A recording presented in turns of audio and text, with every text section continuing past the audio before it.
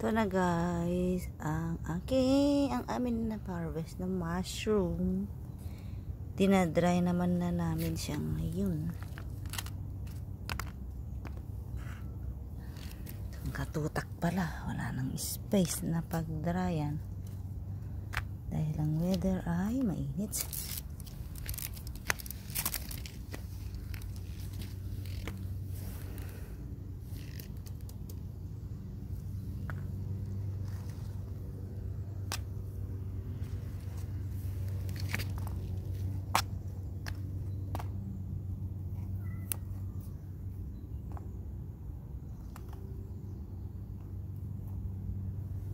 Ganda siya lahat, o, oh, di ba? Dami.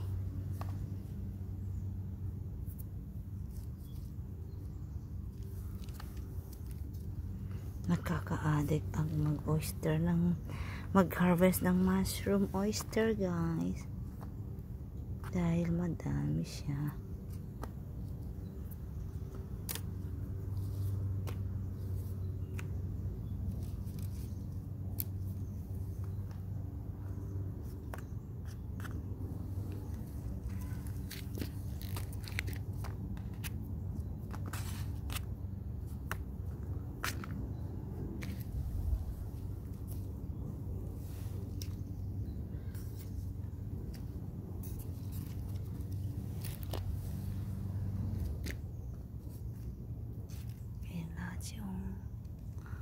Dagdry up natin siya.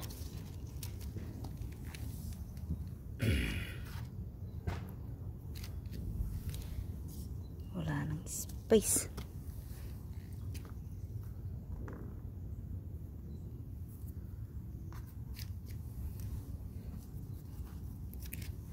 Siksik, siksik portion kaya.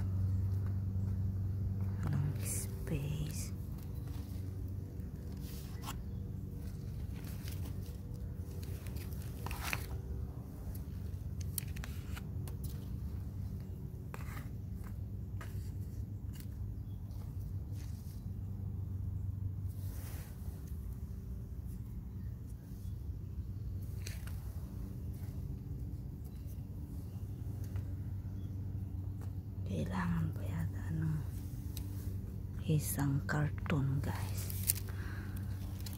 Dahil kulang na ang pag-initan